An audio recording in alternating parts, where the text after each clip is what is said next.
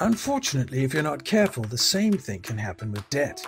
That's why credit insurance may be the most significant purchase you'll ever make. Credit insurance, put simply, is insurance for your debt, whether it's for your car, home, personal loan, or credit card.